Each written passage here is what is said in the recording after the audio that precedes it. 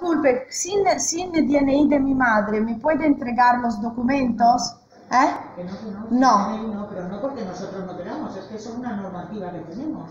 Ok. Entonces, sin DNI de mi madre no me entrega los documentos. Si, le viene- si usted reconsidera, consigue una fotocopia de una No tengo la fotocopia, no eh, tengo.